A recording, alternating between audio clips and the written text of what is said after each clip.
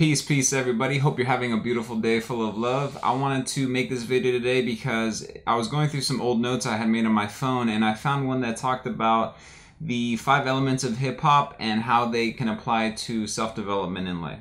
So, I want to just touch base on that and hear your thoughts about it. Let me know what you think about in the comments below. Thank you so much.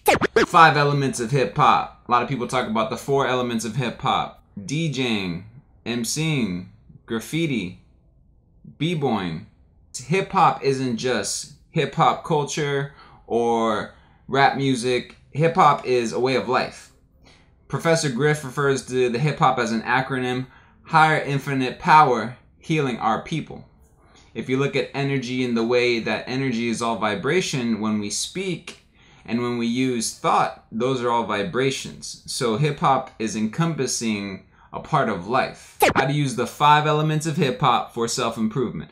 Number one, DJing. DJing is very interesting in the way it was developed.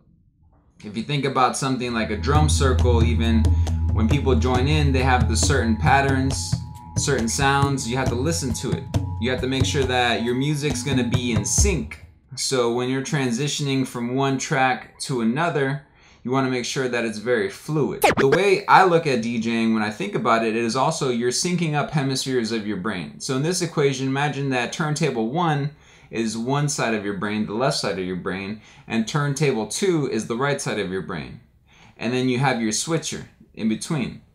So you can go from dominating and thinking and acting upon your life and finding that balance between the left and the right side. So it's about syncing the hemispheres of your brain. When you sync the hemispheres of your brain, you come into a state known as flow. Ironically, talking about hip hop, we're going to be talking about flow state. Flow states is going to be when you are in the zone. So when an athlete or performer talks about being in the zone, they're talking about being in that flow state when their hemispheres of their brains are in sync. So they don't have to worry about trying to think something. It's just naturally flowing. I compare it to a river when you see a stream of water, for example, flowing towards a river, you notice that it's just flowing. There's nothing in its way. You know, imagine if you're presenting to somebody or you're talking to somebody and you're thinking about all these different things, those are rocks that's preventing the flow of the water. But when you're in the flow state, those rocks are gone. It's a very clear path, allowing you to just flow that energy precisely. So DJing has a lot to do with balance, meaning that you want to make sure when you're cutting, scratching, mixing, you're bringing everything together so it sounds good to the ear. You want to have a good balance, so you don't want something to feel off, like the energy's off. For example, when you meet somebody, you can tell if the energy is a little bit off, if there's not a good balance between you two, being receptive to these kinds of things. So, having that balance between your energy, between the people in your life, you find yourself getting too upset or anxious or depressed or worrying or lacking focus, it's time to regain the balance. Regain the balance in your energy, in your motivation, in your thoughts regaining that balance. So, like you're DJing your life. Imagine that you're mixing, you're mastering your life. You're bringing balance from one side of your brain to the other side of your brain by mixing those records together to create this masterpiece, which is the mix of your life. So, if you can find balance in life, you'll find a good groove. If you're ever at a party and the DJ's whack, then you'll notice that the groove and the balance isn't really there. People aren't really dancing they may not even be looking like they're having a good time, but when the song is jamming, when the DJ knows how to feel the crowd, bring the energy there, balance is very important. I'm sure y'all can agree. And DJing is just an essential part as a reflection of life and how you can find balance in your life by syncing up your hemispheres, bringing that balance in your energy, and being able to balance different aspects of your higher self and your lower self in your life as well. MCing. Yo, yo, yo, mic check, mic check. One, two, one, two. Mic check, mic check. Emceeing is a wonderful thing because, I mean, who doesn't love a performer, right? I've seen some amazing performances in my life, and when a performer is capturing that energy on stage, nothing quite beats that energy that they're feeling and they're also translating through the crowd. emceeing has a lot to do with communication. So when we talk about communication in life, it's going to be about internal communication and external communication. So for example, people talk about, "Oh, I want to be a better communicator." I know that's something I want to work on myself, but being a better communicator isn't just about how you talk to other people and how other people understand you. It's about how you understand yourself. So the story that you tell yourself is going to have a lot to do with what type of life you're living and how you're living life. So for example, if you say, "Man, why did these things always happen to me?"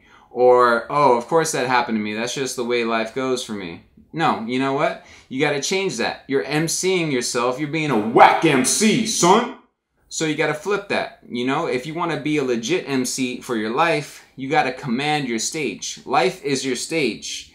Your crowd is the whole world, is your audience. Nature, the people around you.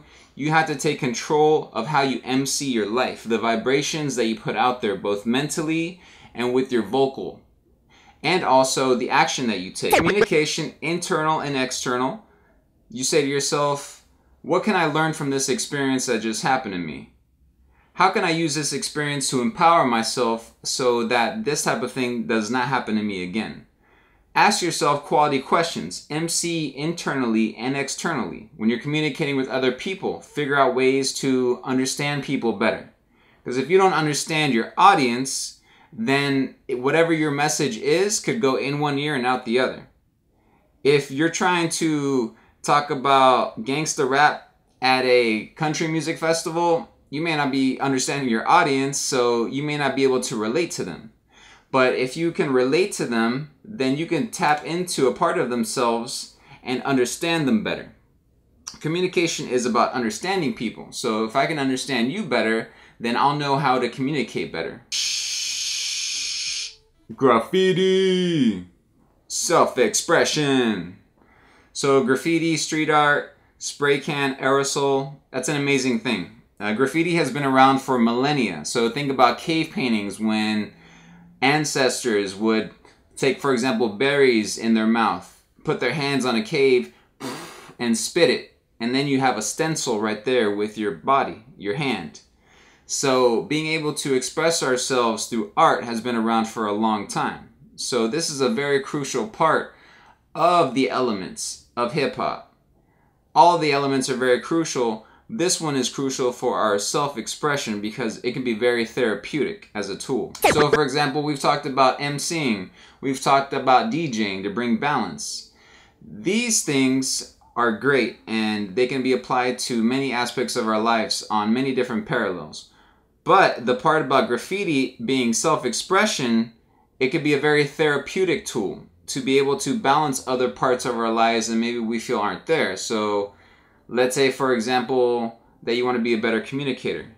Being able to find an outlet to express yourself creatively will help with that.